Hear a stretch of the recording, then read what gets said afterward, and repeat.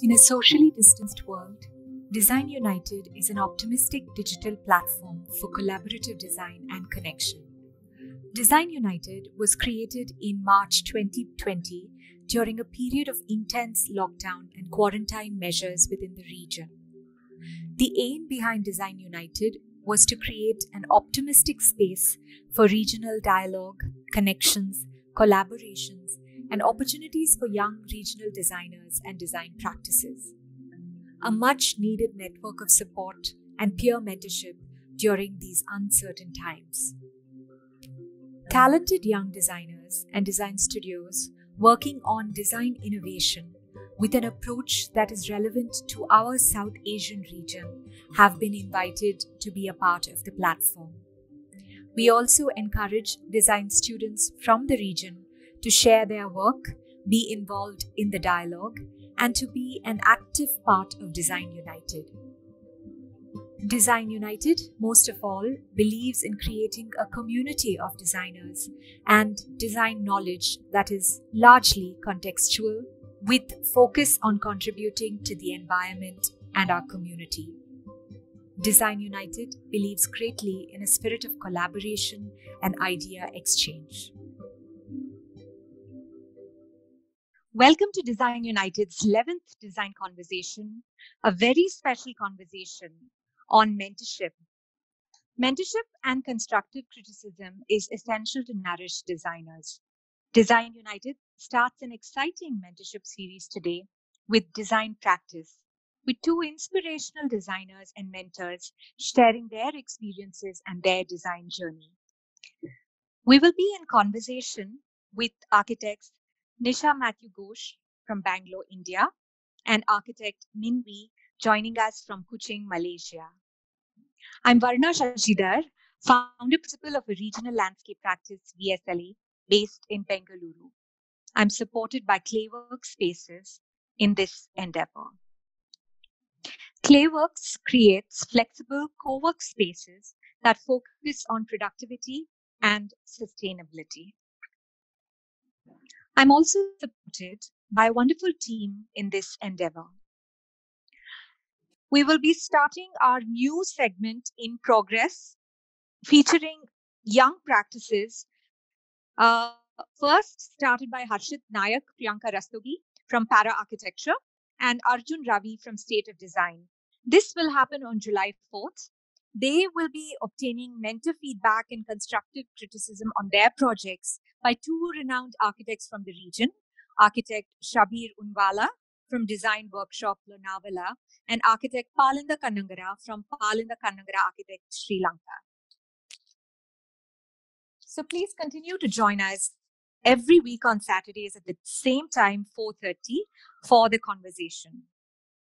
So with this, we will be starting our very first session of design practice. So with this background to Design United, let's move to the much anticipated presentation and conversation for this evening. I'm really delighted to welcome our inspiring presenting designers for the evening, architect Nisha Matthew Ghosh and architect Min Wee. Their presentation will be followed by a moderated discussion. So please do type in audience questions for the designers, which will be answered in the discussion that follows. I'm really privileged to introduce architect Nisha Matthew Ghosh from Bengaluru, India. She situates herself within the practice of Matthew Ghosh Associates, which she established with her husband, Soumitro Ghosh. The practice is renowned for its projects, which includes Freedom Park. What is really distinctive about architect Nisha is that she has managed to create a reflective curatorial practice within that looks at the confluence of landscape, urban readings, architecture, and product design. Welcome to Design United, Nisha. Our second speaker for today is architect Min Wee. Architect Min Wee from Kuching, Malaysia, is has 30 years of practice and is the principal of Design Collective, an award winning architectural practice based in Kuching.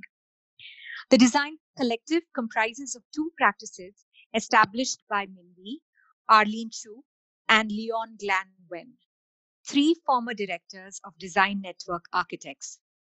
They practice in a studio environment where they discuss and debate, where they teach and listen. They share ideas, manpower, resources to create projects that are relevant to their context, uh, desirable to inhabitants, and affordable for the end users.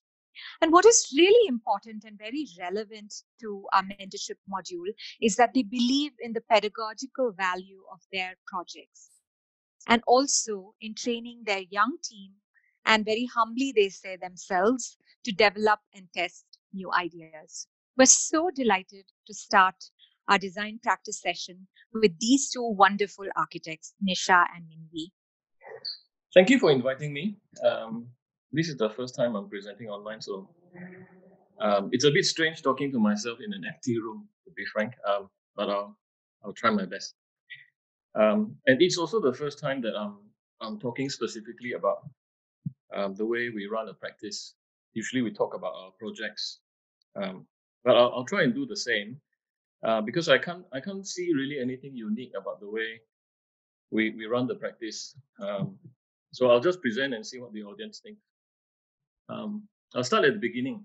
Okay, talking about efficiency, about early lessons in sufficiency. Um, I grew up with my grandparents, and one of the earliest memories that I have was making furniture using recycled timber with him. Um, these lessons are infused in other parts of our daily lives. Um, ones that perhaps we are familiar with, such as uh, not taking two if one will do, um, making use of what we have instead of buying, and so forth. So, so these lessons we we take with us. So when we have our own children, we tell them that no need to buy a bed, we can make one ourselves. Two doors recycled from a renovation project um, makes a makes a bed, and if we don't know how to make the legs, um, we'll just put wheels on it. Um, of course, when we take these lessons to work and do the same thing with our borrowed children, we have to dream of um, slightly bigger projects uh, because these are university students. Um, so this is a sunroom that I built with uh, five university students, um, a project that they drew up and built over three weekends. Um, the lesson here, I guess, is um, both tangible and non-tangible. The tangible lessons, um, how, how do you work with timber? Um, if you turn timber on an edge, it becomes a little beam that enables it to span a longer distance. Um, they also learn maybe non-tangible lessons such as um, how to listen, how to uh, build a relationship with the client, who's also the builder in this case. Um, and they they learn that the reward is the thing that's built um, and the ability to then put this in a portfolio to perhaps share the pride that they, they take in their work. Um,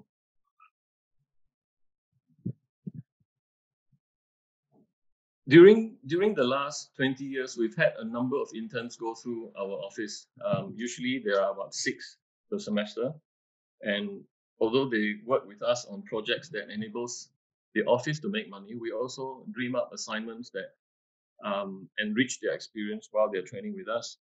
Uh, this is another one. Um, it's a little garden shed that we built in All Folks Home um, for them to plant orchids. Um, the, the, the deal with them is that um, they draw, they get to build it, uh, and if they participate, they get to put it in their portfolio. Um, so on, on three Saturdays, they spend building and assembling this steel structure. Um, and again, there are lessons in the tangible part, tangible part of um, the exercise, uh, putting things together. And of course, the other part is to um, to see the thing that's built.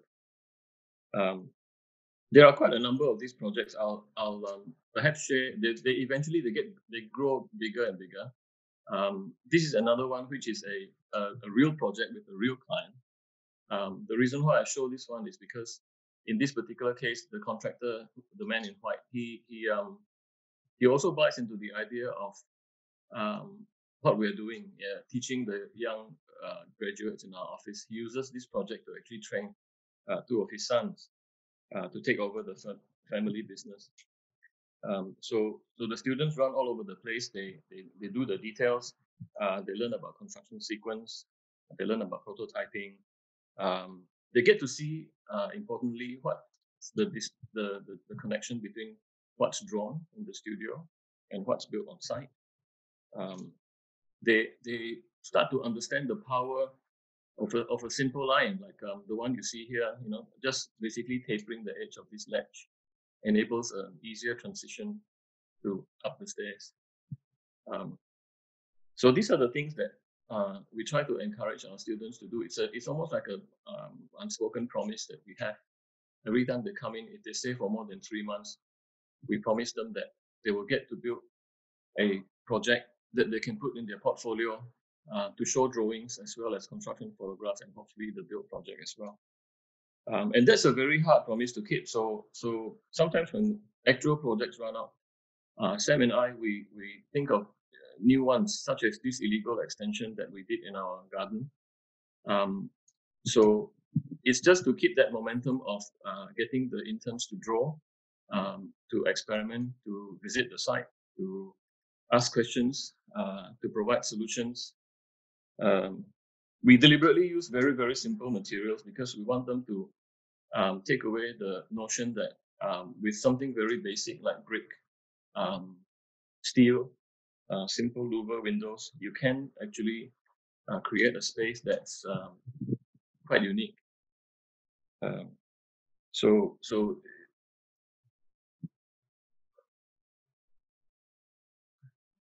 we also deliberately used um, two types of uh, supports one in brick piers on one side of the building um, and steel on the other side to contrast the heavy and the light. Um, and also to maybe take the idea of the brick, which is normally a very solid material, to lace it so that it becomes transpa- transparent. Um, just to just to put different ideas in the students' heads while while they are with us, to to perhaps stretch the envelope a little bit. Um, so there's always this tendency to try and um, participate in the construction ourselves. Um, so we left part of the kitchen unfinished, and uh, together with uh, two of them, uh, we decided to complete the kitchen using windows that were recycled from a renovation project. Um, so it becomes a, a, kitchen, and we use this space for uh, various things, for uh, serving friends, having dinners. Um, and this pavilion became my office during the lockdown. So we use this office, use this space as my office for for three months. In fact, I'm, I'm speaking uh, to you from here. Um, so I thought that I'll talk about a real project, just in case you think that I spend most of my time just running around dreaming up illegal projects with um, students. Um, this is a project that we did maybe seven years ago. Um, it's one that won several awards locally. Um, I, I, like it because it's um, it makes use of an existing building. Um, this building is an existing municipal council built in the 1960s, 1964, 63. Um, you can see the, from the photograph that it's actually a, um, a building that's uh, very open. Uh, it's got a concrete uh, vaulted roof. Um, in the days before um, offices had air conditioning. Um, but but since since its construction and in the past 20 years, with air conditioning and with um, the more partitioning uh, partitioning up of the rooms, it's become uh, quite a uh, ordinary space. Uh, so when we were told to take it over and convert it into a, a museum, a heritage center, uh, one of the first things that we did was to take out all the extensions that that, that was put in place between um, the 60s and the 80s and the 90s. So rip everything off and keep the um, keep the shell only. Um, this this project is unique in the sense that we we we took on the project and we distributed the work amongst all the architects in our office very similarly to how um, we work with the interns. Um, we split this whole scheme into a series of smaller projects that are completed by um, architects with their studio. So we, we saw that this is actually a good way to enrich the scheme and also for everyone to share in the final outcome, very similar to how the interns are able to take away a part of a project um, to include in their portfolio. I thought it'd be nice for the architects and the partners in the office to be able to share in this uh, project, which was quite a big project uh, for our very small firm at that time. Um, so we presented this very simple scheme um, to the client to say, look, we're going to keep the existing structure. Uh, we're going to introduce nature back into the, the building. Um, there used to be trees in the middle of the courtyard, so we're going to put the trees back. We're going to complete the circle so that it becomes a complete um, uh, uh, round loop the, at the, on the first floor for the museum. We decided to also add a body of water. Uh, this creates like an urban edge to the to the streetscape so that it is able to provide another element, which is water, uh, but it also serves as a, a, a, device to control the movement of people into the building. And if we were to introduce new elements, uh, they will be uh, very obvious. Uh, they will not try to fit into the quite strong silhouette that the building has already, so they will sort of stand out as themselves, um, such as the funnel that you see in the little model here, and other elements of streetscape that I'll talk about later on. Uh, one of the other challenges too is that with a lot of these adaptive reuse projects, restoration projects, um, usually uh, in my country, in Malaysia, they have a difficulty uh, earning its keep. Um, so we needed to generate income that would earn its keep because the museum uh, provides uh, free entry. Uh, so the ground floor would be for retail outlets, for shops, for um, cafes and things like that. Um, and then the museum is on the first floor. Um, often when we uh, do drawings and present, uh, do finish our presentations, we always ask ourselves, um, is this is this scheme distilled enough? Uh, would the second year student understand it? Um, this is so that it makes it easy. Uh, it's a project that the end user is able to understand and use intuitively. So, so when it's completed, you can see that uh, we we got to build almost all the things that we wanted to. The funnel, which is the entry, you can see from the photograph. Um, we asked the council to let us annex the the part next to it uh, so that the building has a forecourt because uh, all the other uh, urban edges are uh, busy roads. Um, so we wanted the, the, the, the, museum to have a forecourt. Um, so so then if you look at this um, photo, this aerial photograph, you can see how we've introduced elements that sort of disrupt um, the fabric of the existing building um, to signal that something new is happening um, and to maybe welcome and suck people into the building itself. Um, so the funnel is one of the elements. Uh, it becomes a little project that was undertaken by one of my partners there. Um, it's it's it's many things rolled into one. Uh, I guess that's one of the ideas that we have with sufficiency. So uh, the one the one element must serve many purposes so that it sort of earns its keep as well. So it's an it's an entry statement. Um, it can be used as a stage for performance. Um, and as I mentioned, it's a device for controlling people um, the, the entry into the building. It's also a bridge that sort of uh, bridges across the water feature and the materials that we selected are um, also quite humble in nature. These are these are timber that are not plain; they are rough timber. Uh, it's it's a bit cheaper. Um, it also alludes to the jetties that um, you see along the Sibu waterfront. Um, this is how you would use it if you if it was to use it as a stage. And then where it where it connects with the building, we sort of lighten the structure a little bit, put in a skylight so it becomes a bit brighter. So the connection is a bit softer and you can see that you're actually bridging the gap between the outside across the body of water into the building itself. And once it goes inside the building, it becomes another thing. It becomes an exhibition space. Uh, it sort of insinuates itself into the nooks and crannies of the, the building, as you can see from these photographs. Uh, so it in itself, it's a sculpture, but I guess it's also a space that you could actually quite easily exhibit sculptures and paintings and uh, things like that. So doing many, giving the, the, the feature many, many functions makes it harder for a client to say, no to it. We find uh, because you see uh, because it serves so many purposes, it sort of earns its keep and makes it a bit harder to take away from uh, your design scheme. Um, many of the existing uh, features are kept. The vent block walls, we just cleaned them up, took out took out the windows that they put in front of it, um, and retained them. Just gave them a new coat of paint and retained it. Um, this is obviously cheaper, but it's not just because of cost that we did that. Um, it's to it's to also retain the original character of the building, so that the old can have a dialogue with the new, um, so that the original soul of the building isn't lost.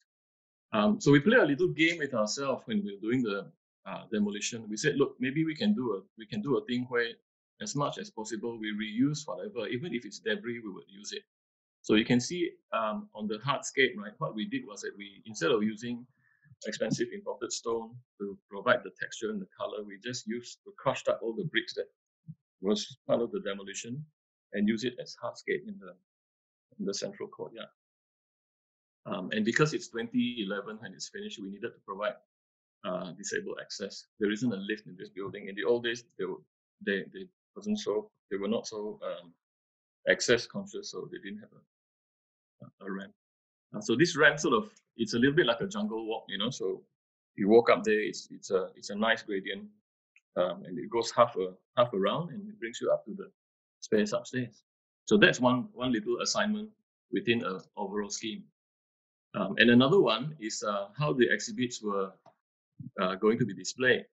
So this this uh, young lady here, um, she she likened the circular plan to a board game like Monopoly or Snakes and Ladders, um, and and devised a, a sort of a, a maze through which uh, the visitors would visit the exhibits and um,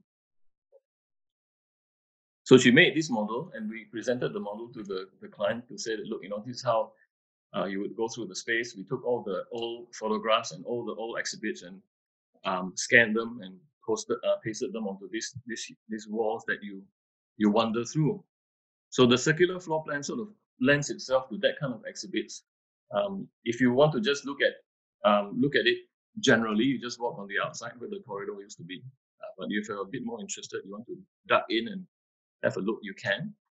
Um, we make sure that the or- original structure is kept and is sort of shown as um, the, the, the backdrop to this exhibition space. Um, and then in keeping with this idea of not taking anything away from the original museum, uh, the photographs that were scanned, we sort of group them all together and put them together on a on a big wall, um, sort of like an art installation. Um, so that, that, that became another exhibit as well.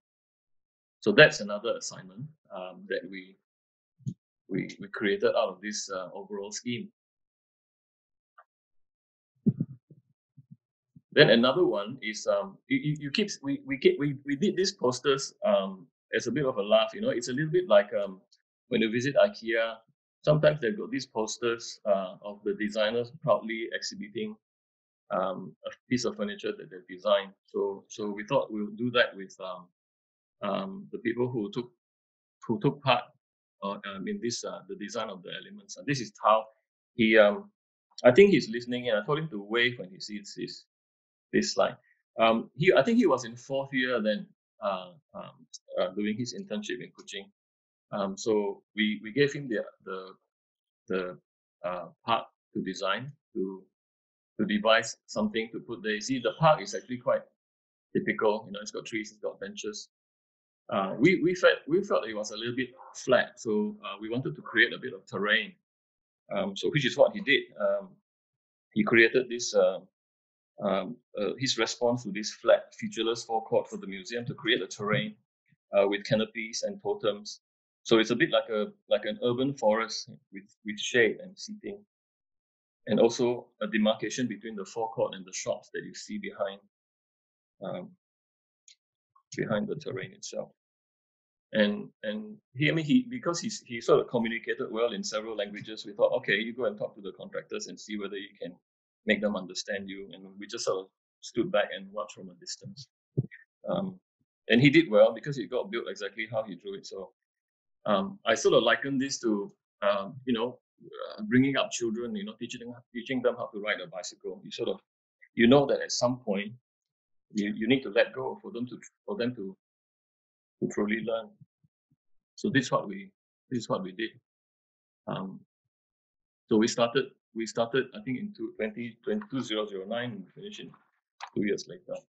Um, I like this project not not because uh, it's adaptive reuse, which is something that I'm fond of. I liked it because we we seem to work on it uh, like a university project. You know, it's like a group project. Someone took on one part of it, someone took on another part, and then they all came together. I sort of managed it, um, and then it sort of uh, came together quite nicely at the end. And everyone can claim a part of it, which is the really really most important thing for uh, an office that wants to promote design and inclusivity, things like that. Okay, so I'm going to talk about this. Uh, the last real project that I'm going to talk talk about. The last two projects that I'm going to talk about are community projects, quite recent ones. Um, um, I guess what I'm trying to demonstrate here is um, how do we use our profession um, to contribute towards uh, the community. Uh, so the first project is a a toilet for a rural kindergarten. Um, there was there was a phone call one morning saying that um, someone wanted to build a um, toilet for this this uh, kindergarten because um, it's in a squatter area, as you can see, um, and they they don't have proper sanitation. Um, so, you know, as what typical architects do, you come up with a design uh, and you show it to potential sponsors and donors to raise money, to raise um, funds for uh, material, and to ask for volunteers. Um, we wanted to do it in steel because the site condition was quite bad, um, and we wanted it to be to be light so that the foundations would be light, and we also wanted it to be quick because um, one thing that I learned from years of working with uh, young volunteers is that they are a very uh, valuable resource and you, you don't really want to stretch them. You you don't want to take up the whole their whole weekend because if you do, they'll never uh, come back and join you for another one. So one of the easiest ways to get volunteers to work with you, like in this case, to dig a hole for the septic tank, is to actually get down there and and and um, and dig it with them. Um, so, so the architects, the architecture students, the architectural graduates, they, they, the roles are reversed. Um, they, they don't draw. They're not there to be a consultant to be consulted at this at this job site. They are there to be laborers. Uh, they're there to build. Um, and I think it's good because uh, it sort of teaches these young people a sense of empathy, uh, so that they understand what goes into the building of uh, even a very simple structure in this case. Um, I, I like working on these projects because I find that it brings out the best in people. You know, um, the the naturally um, good people that you you meet, like this young lady here. She didn't need to be asked. She just came and she she helped. Uh, she's one of the end users. She uses the kindergarten. Uh, we didn't ask her to help. She just volunteered to help herself. Um, so so one little structure, um, two toilets in there, a male and a female toilet, three Saturdays, 20 volunteers, and um, to date, we've not received a single complaint. Um, so, so that's one of the little things that we did recently last year. Um, we've also taken our volunteer services uh, overseas, uh, across the border to Kalimantan, which is our neighbor yeah, in, in Indonesia. Uh, we met some people who wanted uh, some drawings done. That's all they wanted. Not no design. I think just some drawings done because they wanted to submit it to the local council. This long uh, classroom that you see here uh, the foundation is rotting away. It's in timber. So they needed to prop it up. They wanted to build another one behind it so that they can decant the students over to the new block while they repair this one. So we said, okay, uh, sounds like an adventure. So we, we did the, the drawings. It's quite straightforward, as you can see. The old building on this side, the new ones that we're going to design and build for them sort of replicate more or less the same thing. And then eventually, when the, the new school is finished, the old one gets opened up a little bit. It becomes again like the forecourt, the outdoor activity area for the entire um, entire uh, school. These are primary school kids. Um, if you get a chance, right, you should actually visit this uh, this organization. They're called it's called Mount Hope. Uh, they are based in Indonesia. Um, they were originally founded in New Zealand, I think. Um, they are a, a, Christian organization, and they this is a this is a boarding school. It's a private school, um, but they provide uh, uh, boarding, and they've got about 500 students of um, primary school age up to high school. Um, so of course, as usual, you know, we we don't want to lose out on the construction, so we volunteered to to build. Um, so again, you know, like these guys, they can draw a pad footing that is six six feet by six feet, but to dig one is a totally different story. As you can see, you know, they're they're basically digging a, a pad footing underneath the existing structure. So eventually, this uh, timber column will be removed, and then you replace it with a concrete one that you can see them casting. And then the floorboards of the old um, classroom becomes the formwork that they will cast a concrete slab over. Um, in order to work to, to, travel here, you travel for about two hours by car. Then you stay the weekend. You you you um you live there, you work there, and you eat with them. I think this is a very uh, good education process for for for the young people because they get to they get to um, meet the end users. Um, they get to see how the re- you know they get to see the results of their action to see how um, they can touch people's lives with just very very um, um, simple thing like drawing up a floor plan. Um, so the this this is our last slide. Um, these are these are the interns that have some of the interns that have gone through our practice since we started Design Network Architects uh, in 20 uh, in, in year 2000. Um, at the last count, um, I think we've got about 200 plus um, interns that have gone through our office. Um, they, some of them are, are, are like our borrowed children. Um, so we've seen them grow um, and uh, they still come. Um, so perhaps the, the, the thing that is unique in our office is that we we um, we take this idea of teaching uh, into our real projects um, so that so that we, we continue to learn from them and and um, and um, see whether our projects can can teach uh, the end users about good design that is not for special occasions but is for every day. Okay, that's that's the end of my sharing. Thank you. Thank you so much, Architect Min Wee, for sharing your inspiring work and method of working that is beautifully built on a democratic, generous way of making architecture. Also, a very strong pedagogical value of your projects that I'm sure um, designers will find very, very inspiring. Thank you very, very much. With this, I would like to invite uh, architect Nisha Matthew to share her work which is a confluence of her many interests in spirituality, textiles, landscape, product design, apart from a very strong architectural practice. She's also been recently selected to design and curate the India Pavilion at the London Design Biennale 2020. Thank you, Nisha. We welcome you. Thank you, Thank you Varna. Thank you, Design United. Uh, Min, I loved, I, I wish I were an intern at your office. um, so I'm going to share three stories uh, about my life. And um, not going to run through the uh, a detailed uh, delineation of each project but i will share uh, some ideas. Uh, and i'm going to talk about my work in the build my work in experimental textiles and my interest in god and uh, you know the relationship between the physical realm and the spiritual realm. So here we are and um, i think that as varna described i have a lot of interests and they're they're very intense interests in other creative domains.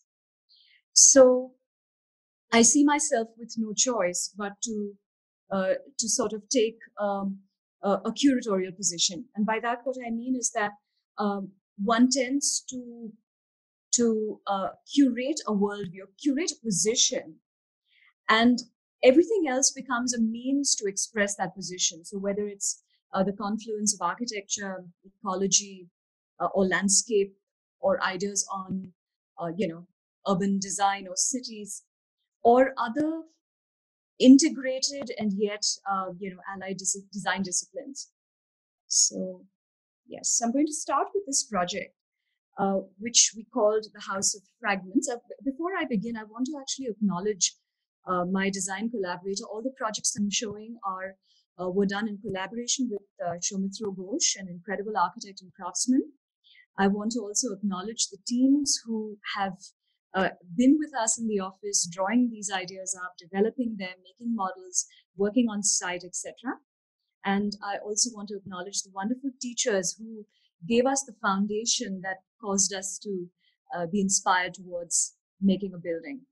So this is the Benjamin House, and uh, we called it the House of Fragments. And I think the exploration here was to uh, look at the idea, to, to explore the idea of edges when you fragment a building typology. So I hope you can see my cursor, and uh, you you kind of look at. So we were looking actually at um, the house form as we understood it in Bangalore, um, and the very predominant, uh, you know, house form from which later house form have derived patterns was the colonial bungalow, and we were really looking at the whole um, uh, fragmentation of parts of this and the realignment of this in response to what we felt was a con- contemporary condition for privacy and for a new relationship with a garden. So you see that I'm going to just show that to you. You can see this, so you see that this entire area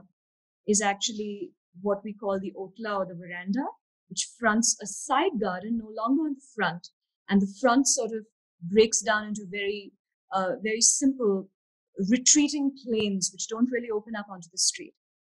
And um, uh, it, it, also, I think, that this whole um, uh, sort of exploration and fragmentation was also overlaid with uh, our deep desire to uh, to really understand and extract, extract really uh, the maximum from resources such as wind and sunlight, and therefore to position these things in such a way that one were able to uh, you know, sort of draw in the breeze where it was the best and draw in the light where it was the best.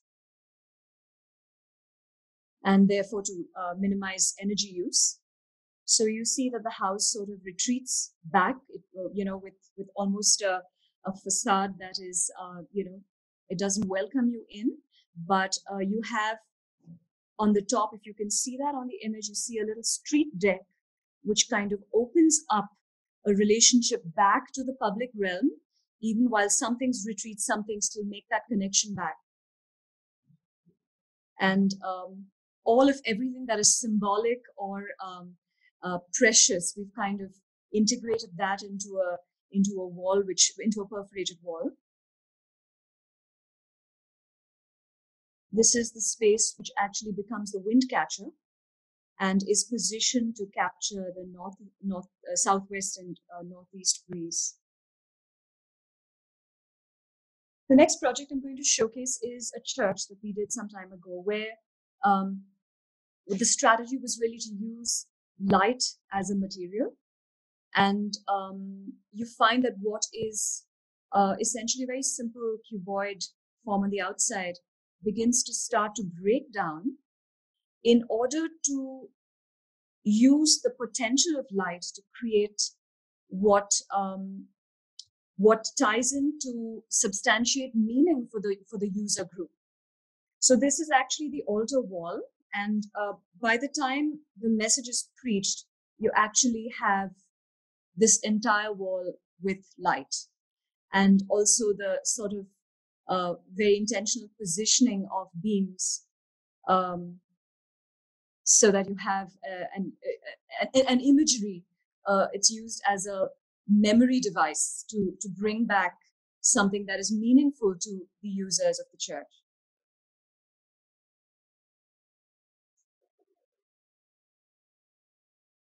This is how the section plays out and, and basically um, floats the sanctuary above the street.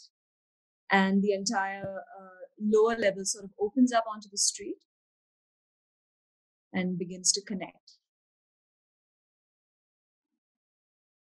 This is a project that um, was my favorite for very, very many years. It was an unbuilt work, and it was a competition entry. And um, I think what was significant for us was that it established um, in in its um, in in um, sort of um, trying to understand the problem. What we were looking at was a means by which we could establish a method of looking at architectural engagement. And uh, the primary driver for this was uh, ecological intent to uh, revive, to sort of restore, to rejuvenate uh, the ground and the water. And through that process, to really derive something that could be a generic structure that could seat an architectural program.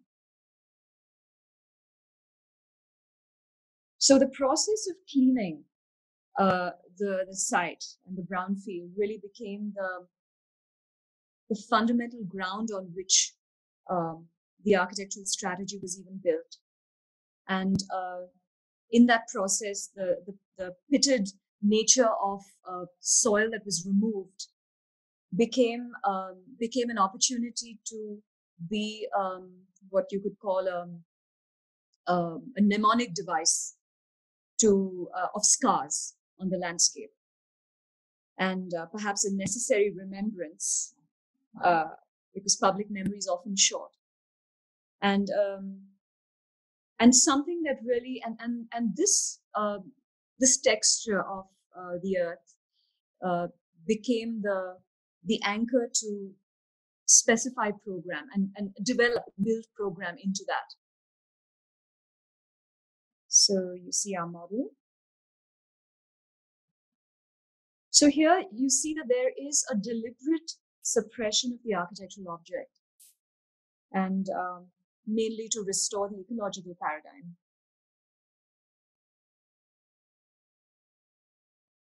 This is um, a project that is being completed still in some sense, the National Military Martyrs Memorial.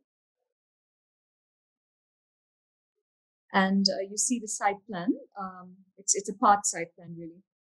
But essentially, what we had was a pretty densely forested little patch of urban land.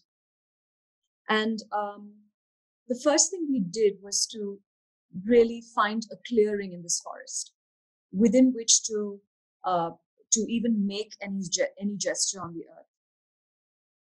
And um, once we found that, we basically oriented. A, it was a very simple strategy that we had a path. We just overlaid a path on the forest floor, so to speak, and that path became um, uh, where they would programmatically hold their ceremonial walkways and their wreath laying and um, sort of a very symbolic um, path within the forest.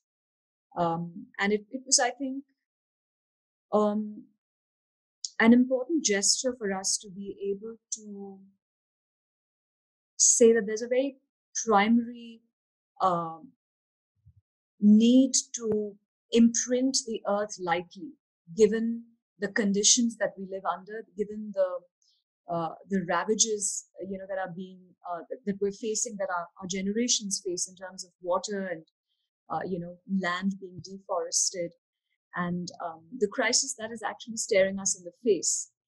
And um, so it was a very um, a gesture that was confident and bold that we needed to to make this statement. So, in terms of their programmatic requirement, the clearing became the place for uh, the museum also to slip underground so that the void essentially the entire um, apparatus of building happens underground and in the clearing. So the forest is left intact. The other aspect about this was that um, the orientation of this is um, is not east west, but it is it's slightly angled to east. It's about 45 degrees to the east west. Such uh, vertical sort of elements, which is the which is the flag post and the large memorial stone, which is about 75 feet tall. Uh, so so that they don't uh, cause the space, uh, cast a shadow on this uh, and basically give you diagonal shadows so the path is still lit for pretty much most of the evening until the sun sets. This is what the underground structure looks like. A very formal um,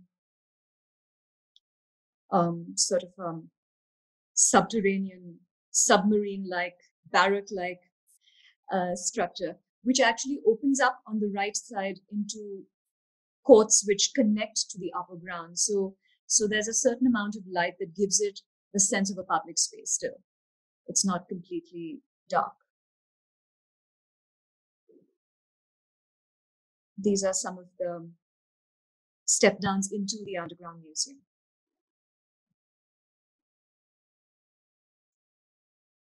This is, um, I think this is my last project that I'm going to show.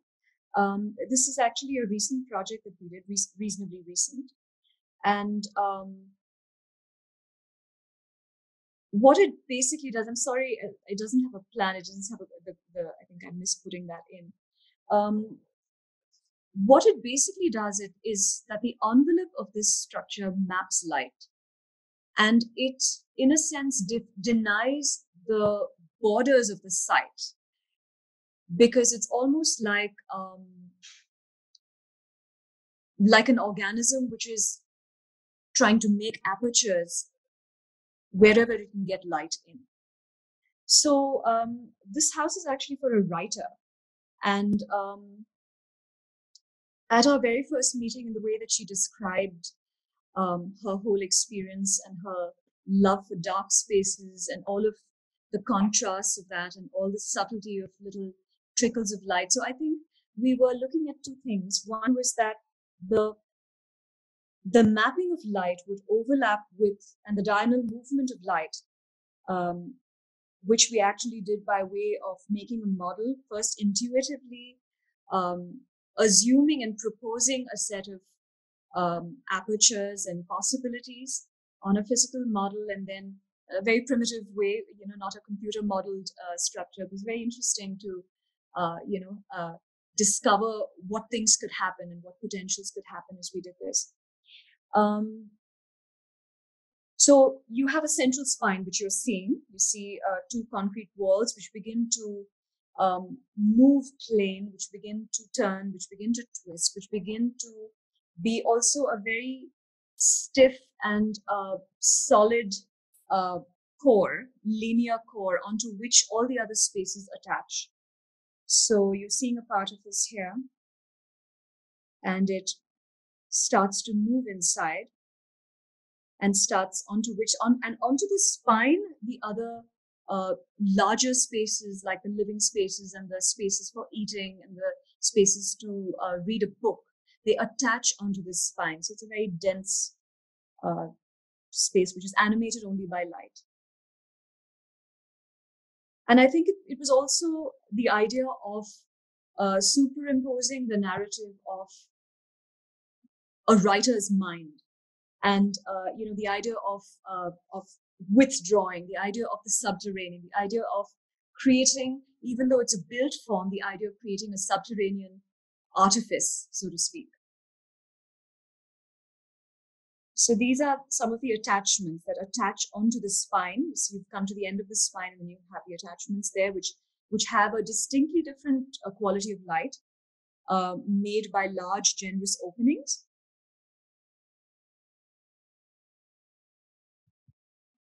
and um, yes this is um, this also this little animal you see there is a weaving studio that i started a few years ago um, at the invitation of um, someone to do a show we and um, and also to you know so that that was really the, the starting point of weaving studio and then um, you know the incredible thing was that it became a wonderful place to train people who uh, and and see the marvelous potential that people have. So, uh, you know, the the person who is my trainer now, who trains other disadvantaged women, is actually a disadvantaged, physically disadvantaged man who was originally who, who used to beg at street corners, and um, you know, I met him. I used to meet him a couple of times, and I said, "Do you want to work?" So he said yes, and he landed up. And today he is meticulous. He has such an eye for detail. He has such an idea for geometry. He knows if something is slightly off, the oval is slightly off, and it's amazing the the God given potential in all. So this is the Anna Anna Studio, and this is the Tiger, our latest weave woven project. Yes. So I'm going to move on to the other section, which is basically uh, textile and and why we began to do it really you know with with a great frustration at all the stuff that got dumped by the wayside in our city and uh, the frustration at not having a solution so um, the textile studio began about maybe about eight years ago and we started experimenting then and later became became something much larger in terms of our agenda to uh, promote um, a way of dealing with fabric waste that could um,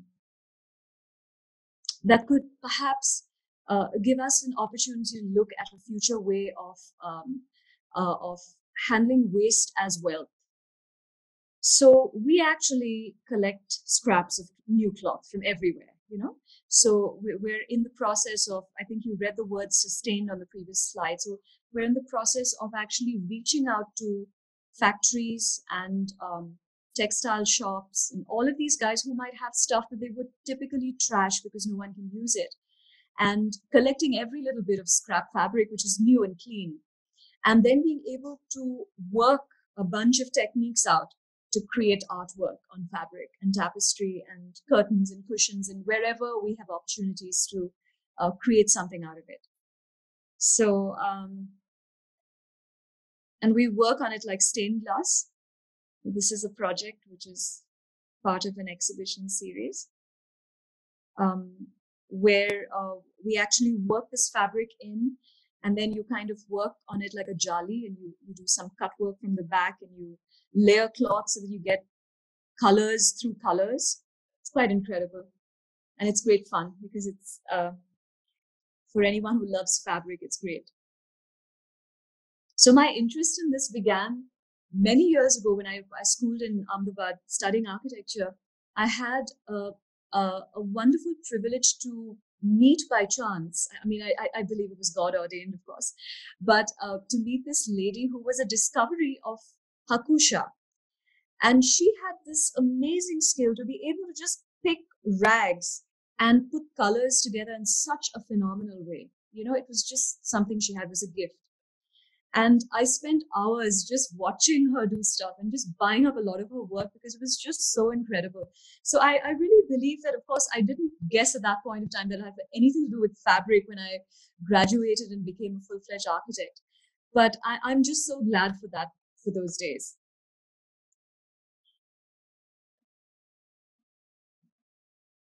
This is a piece out of linen scrap. This is a project using multiple fabric.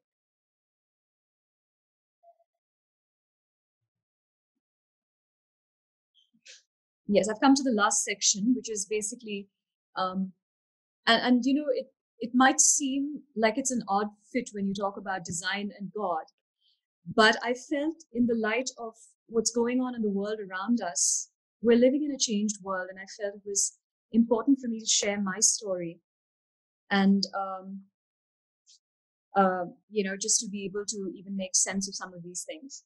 And i'll just make it really quick i won't take more than a minute on this. But um, basically uh, there are two spiritual kingdoms. This is the whole thing about the seen and the physical realm. And the unseen realm actually does affect the physical realm much more than we know it. So while each of us is wonderfully and beautifully wired and made in God's image. God is not a man, but we're made in God's image, so we're spirit beings, essentially. There is a demonic kingdom. So one is the kingdom of God, and the other is a demonic kingdom. There is a kingdom that can come against us. And all of what we're seeing, uh, we're living in a new dispensation of time, right? So, what God did on the cross, what Jesus did on the, on, on the cross was to, to work to make a provision, a heavenly provision, so that we could have access and stand against what could potentially come against us, whether it was some grave sickness or some sickness that covers the whole earth, or a plague or a pestilence, or the lack of protection that we go out and we don't come back. So, so this is what has happened for us. And what it takes is just to be able to appropriate it. So I, I was about 25 years old when um, Jesus got my attention through a series of God orchestrated events. I won't get into that, but it was incredible because it got me interested. And when I got interested, I began to pursue to understand what, what, what was really going on. And I want to just close by saying that in the light of our present circumstances, every provision for healing, for divine protection, and redemption has been made on the cross for us. Sin has been paid for, sicknesses have been paid for.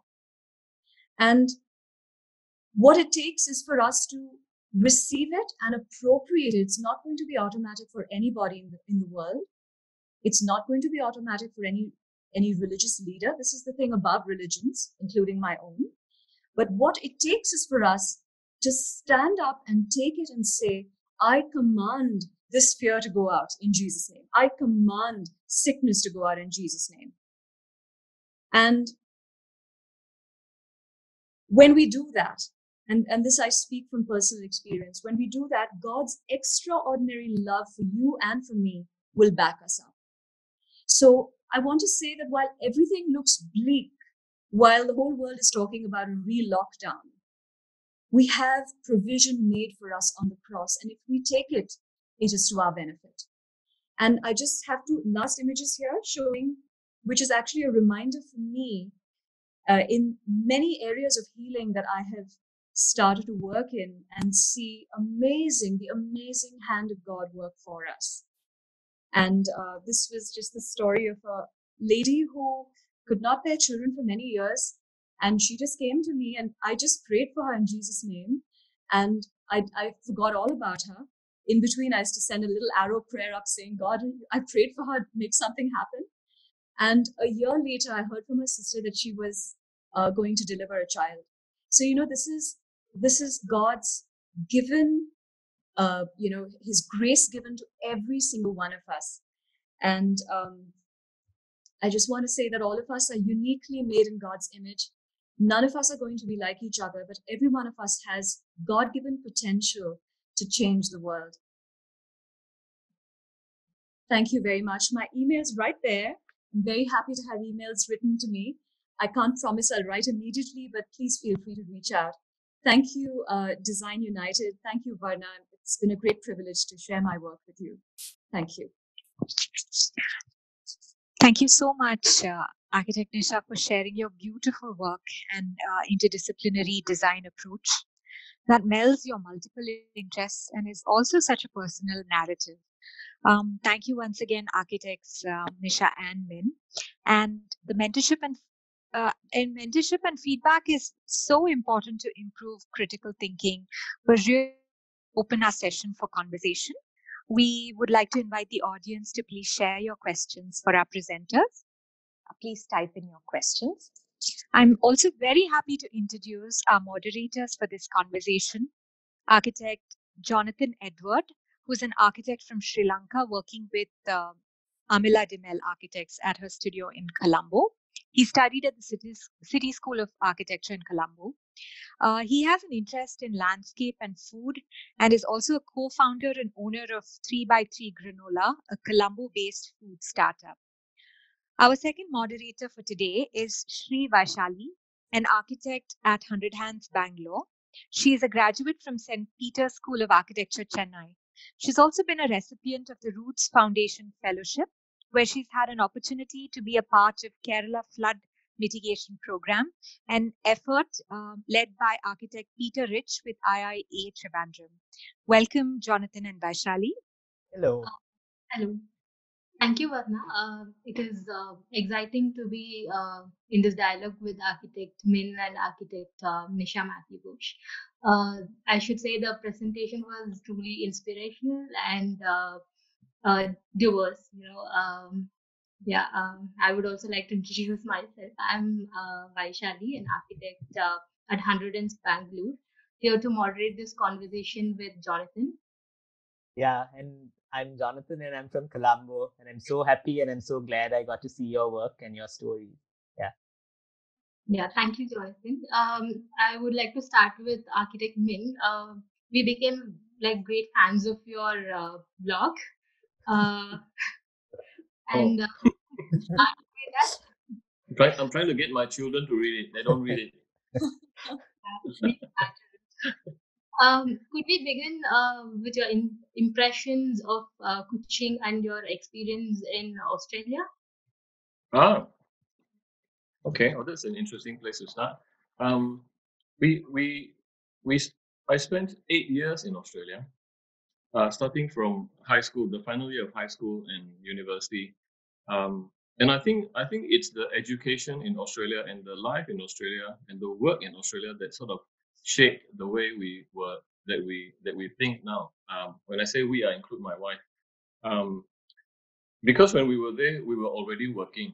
We worked the last two years of our university degree, um, and through the work, we met many people whom they were very helpful. They they had no reason to be so helpful to this foreign student working for fifteen dollars an hour, but they were they were so they were so warm. You know, they um um and they, they went it felt as though they went out of their way to to help us to mentor us so so that left a little bit of um um of a, a spark in us so when I came back to work in Kuching, fortunately I also worked I worked in a big firm and you know in big firms you could sort of get lost if you are not careful. Uh, I was very fortunate to work under uh, a man. His name is Marcel. He's he's uh, he's no longer with us, but he is the kind of mentor that you want. He's uh, he's very demanding, but he's reasonable, um, and and he sort of um, he practices sort of tough love. You know, if you, if you if you if you are if you're not doing something right, he'll say this is not good. Don't do it again. But if it's good, right, he'll give credit where credit is due. Um, so that's something that we kept within us. And when we had our own practice, we thought, okay, this is what we want to do. So I guess uh, subconsciously we've been doing that all the while. That was great. Uh, Architect Nisha, could you share your experience um, in Ahmedabad and how um, this great masters like influence your work and Yes. practice? Uh, yes, thank you for asking. Um, it was an incredible time at Ahmedabad. At the time that we were, I was there from the late uh, 1980s to uh, early 1990s, and um, it was just, I think, um, that was the time when Kurula Varkey came in from uh, and, and took over as directorship, and uh, suddenly there was a new buzz and energy. There was a lot of discussion about what is Indianness and examining Indianness in the light of what is modern architecture. And um, so that was on one hand. And then you had, uh, uh, you know, teachers like Vasavada and Rajay who were very, uh, very solidly, uh, uh, you know, uh, had a fundamental understanding of material and, you know, how to um, work a material to uh, to its fullest potential in terms of uh, design and understanding it. And then on the other hand, you had um, uh, Doshi, Hmm. Chhaya, a lot of wonderful, wonderful professors. And honestly, I really want to acknowledge them today, you know, uh, because I think a good teacher is the one who gets your gets gets you going for the rest of your life. And I'm I'm so grateful to God for every one of them. And I think it just all worked wonderfully together, you know. So um, yes, thank you for asking. Thank you, Nisha. Yeah. Um, I had a when we spoke the first time, we spoke about how you guys run your practice and how um, there's a lot of collaboration that goes on in what you do. Um, I'd like to ask this question from both of you actually. Um, how does collaboration impact your practice? You uh, both in terms of um, the space that you work with, because you uh, work with sharing resources and things like that, and also in terms of working with craftspeople and designers and things like that. Um, architect Min, would you like to go first? Okay, I, I think our collaboration is um, not quite as sophisticated as Nisha's. We, we don't collaborate, we don't have the opportunity to collaborate with so many artists. Uh, we tend to collaborate with our peers, other architects. Um, so as, as you know, our office is actually made up of two practices. Um, they were former partners of mine in the other practice, so we, it's sort of, like a natural thing to just work together and share resources. And they've got a very nice office in town, and they invited me, so I, I, I, I jumped at the chance and joined them. Um, other collaborations tend to be when we are working on uh, maybe a competition.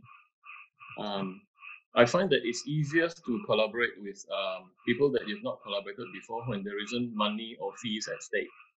When there isn't a chance of winning anything, you just go in and you say, we try. That's the easiest. Um, but the beauty of having so many interns is that now they are not the 20 somethings anymore. Now they are 30 somethings and they are practicing architects. So sometimes they do bring in work that we work together with because there's already that energy that we've had before, you see. Um, so that's that's very rewarding uh, for us. Yeah. Um, so our uh, we've always worked together, Soumitro and I, and that has been the largest collaboration. Our studio, uh, Jonathan, tends to be still quite design centric in the sense that we're we're looking at if you if you look at it as a a curatorship of a show, you kind of you have a thought that's running through the whole thing, and you want all the detail and all of the material choices and all of the decisions to tie up with that one thread. So we still tend to be uh, more design centric than I would guess Min's office. Um, increasingly, though, now uh, I'm beginning to work with collaborations outside. And it's not in the space of uh, my core strength. It's in other areas like film and, uh, you know, um, and, and it's exciting. So, like you said, that's right. It's exciting to open new collaborations because I think it broadens the way you think. Hmm. Uh, so we've, I think in terms of our own studio, the best times have been when we've worked on competitions because there's been no threat of someone saying i don't like this but it's been a free uh, you know ability for everyone to express their opinions. And i think those have been the best and more, most exciting times for our studio when we've you know had everyone say what they thought and you know you picked a line from there. So yeah. Yeah. Yes. Thank you very much. Um, and i think one of the benefits of being in a small studio or in a small practice is that when things change uh, so rapidly, like it's done in the past few months, uh, yeah. it it gets really interesting to see how we adapt to things. How have both your practices adapted to the new normal as you see it? Go on. Yes, uh, yes. So um, we've actually we're actually quite happy about this in terms of our working possibility to be able to, because I think what it does is people have to come from otherwise quite far off mm-hmm. and travel in the dirt and grime of the pollution of the city. And so I think in all of that, I think there's been a plus that you are more efficient. You can work in clean air without, you know, so you're more efficient in time. It's healthier perhaps. But I think what we miss out on is physical interaction. So I think going forward, we might actually introduce people coming back, you know, once a week where we have group meetings together. And uh, the rest of the time we're, we're working from our individual spots. Yes. But I, I mean, I think the disclaimer to this is that I think we have a luxury of space. So I, I think um, perhaps not everyone might agree to that kind of a model. If you're sitting right. cooped up in a tiny little room and you don't have, uh, you know, the bandwidth to even step out, that's probably not fair. Yeah. Architect Min, any thoughts? It's it's about I guess it's about the same. We we I found that I actually had more time, uh, and I, I I enjoyed the the lack of disruption because uh, a lot of the the construction sites have shut down. They were not able to work, so there were no phone calls from site. Um, uh, but that also meant that uh, it will start to affect your cash flow. Um, on the plus side, uh, everyone ended up being more efficient working from home rather than in the office, which was very surprising. Yeah. Um, and they were more productive. Uh, they were very disciplined. Uh, work was submitted when it was meant to be submitted. Yeah. Uh, I was very, very surprised. And I found that I actually a lot of um, free time on my hands. Um, I actually made my first cardboard model again in the first first time in the last I don't know maybe ten years. Um, so it was very rewarding for me. But um, again, after a while, if you're an office that works in collaboration, sort of like a, a studio situation, you do miss the ability to sit in front of someone and debate an issue or discuss an issue. Uh, we've started going back to work, but we're going back to work alternate days. So I'm there some days to meet with some of the architects. I'm there on other days to meet with the other architects. So they still work from home half the week, uh, and I work from home half the week. Hmm. Okay, that's really cool. Um, Vaishali, you want to uh, add on any more questions? Uh, yeah. Um, what oh, would you think is the hardest uh, thing about managing a project? Uh, do you have any tips for us? Um, architect Min, would you like to go first? Um, people. because because people have egos, and egos are the hardest to manage. Actually, the project itself shouldn't be difficult to, to manage. You see, by the time a project goes to tender, right, everything is there on paper. It's only if you are, have, have the ability to, um, so it's people. Um, I, I remember sitting next to a client once, and we were in a, a meeting, and it got a little bit heated up. You know, people stood up and then they started speaking not in English but in their their normal Chinese dialect. So you know it's getting quite serious. So she turns to me and she says, um, "What's this all about?" I said, "Well, you know, they're just discussing something. Let them have a bit of time." Then she turns to me again and she says, "What's the most difficult thing about managing this project?" I said, "People." Then she looks at me and said, "Are you talking to? Are you referring to me?" I said, "No, I'm just referring to people like this." Um, but it's people. I I, I don't think um, it's anything else. I think it's people. Architect Nisha, would you like to add something?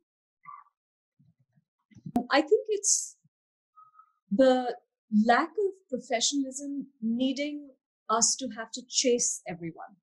So delays in terms of just being professional and responding back on time. I think that is a challenge because then uh, if you've missed it, then it's gone into another loop again. So if everyone were to be more accountable, then I think, you know, then, then projects would flow much faster as well. And if, and I, I think fundamentally then it is that everyone needs to feel like they're part of the team together and everyone's got a stake in it. So I think that might make a difference. Architect Nisha, I, uh, thank you. And I have one more question for you. Uh, how do you manage to navigate between your work as an architect, curator, designer? How do you manage it? I have to say it's with God's help. You know, I have to say that because I've seen that at work. I've literally had to shut down myself in, you know, textile and jump into something else and do that very often. Uh, so I really depend on just hanging on to Jesus. I depend on Him.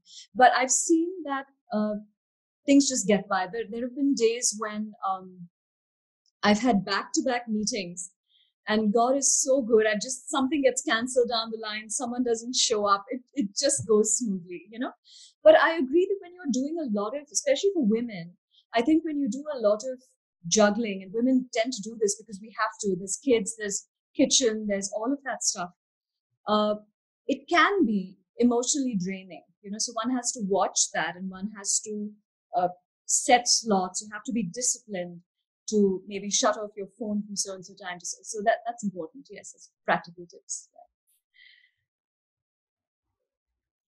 Um one more question how, how uh, this is for both of you. Like how has your practice stayed um, relevant with the in, influx of uh, foreign architects into asia? Like um, what have you learned in the process and how their works have influenced you?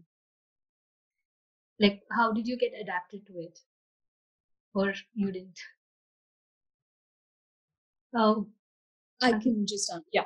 Um i think seeing i think the good part is that we um we learn from each other. And i think that overrides the whole aspect of competition. Because i think uh, um, I'm thinking a lot. I'm saying a lot of things, but no, I, I uh, learning from each other needs to become the thing over the sense of competition from a fellow architect because that competition is not going to go away. And if uh, and i see that there's always going to be enough work. If you don't have enough work we can always make a project of our own you know something we saw what min had done. And uh, you know it could be a social project it could be something to help the community. So there's always potential to keep yourself busy and to get it funded. So i think that uh, competition should not have to worry us because if there is creative impetus you can use that effectively to make things happen either for your team or for yourself or financially. That would be my take on it yeah. Yeah uh, would you like to add something mr min um, our, our, practice is quite small so the kind of work that we do um, uh, private private homes um, things like that typically there isn't much competition for that you know um, so the big firms they come in and do uh, projects that are very very big, uh, which we probably do not have the manpower or the inclination to participate in anyway. Um, but we, we we don't fear the competition. We don't fear because you see our competition comes not only from foreign architects. We are in East Malaysia, so we do get um, firms from West Malaysia who comes in. Uh, they are bigger. They they're more experienced. They've got more manpower. They've done more stuff.